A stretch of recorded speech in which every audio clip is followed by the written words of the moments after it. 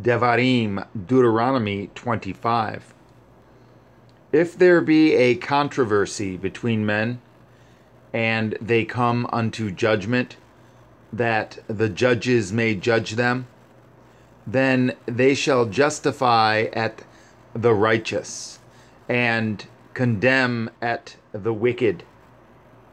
And it shall be, if the wicked man be worthy to be beaten, that the judge shall cause him to lie down and to be beaten before his face, according to his fault, by a certain number. Forty stripes he may give him, and not exceed, lest if he should exceed, and beat him above these with many stripes, then your brother should seem vile unto you. You shall not muzzle the ox when he treads out the grain. If brethren dwell together, and one of them die, and have no child, the woman of the dead shall not marry without unto a stranger. Her man's brother shall go in unto her, and take her to him to be his woman, and perform the duty of a man's brother unto her. And it shall be that the firstborn which she bears shall succeed in the name of his brother, which is dead, that his name be not put out of Yashara'el.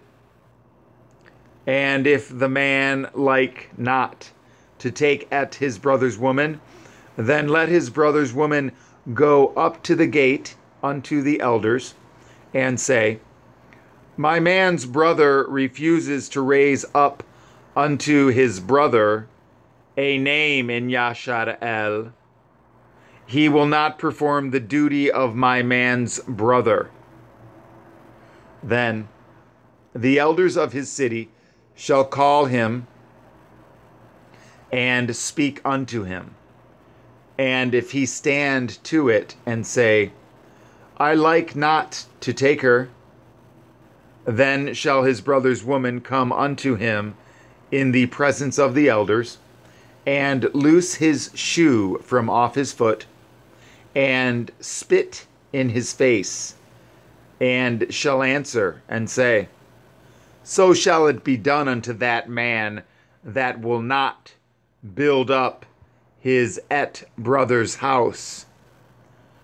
And his name shall be called in Yashara'el, the house of him that has his shoe loosed.